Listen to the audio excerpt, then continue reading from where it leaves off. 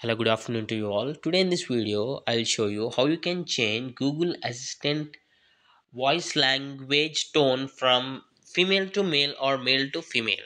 Uh, if I ask my Google Assistant like, okay Google, tell me today's date, it will tell in the or speak aloud in female voice by default. By default, actually most of us uh, don't know that we can actually change that uh, female voice to male. I'll show you.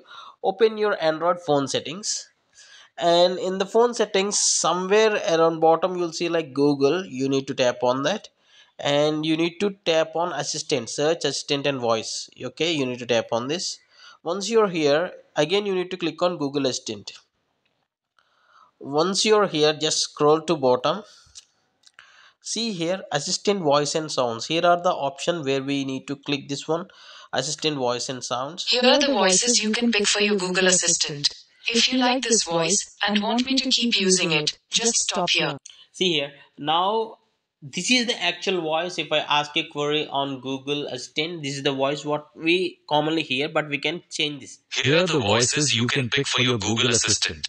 If you like this voice and want me to keep using see here now i have changed the google assistant voice uh, from female version to the male version. So if at all if you're hearing this for the first time or knowing this for the first time please do hit a like for this video.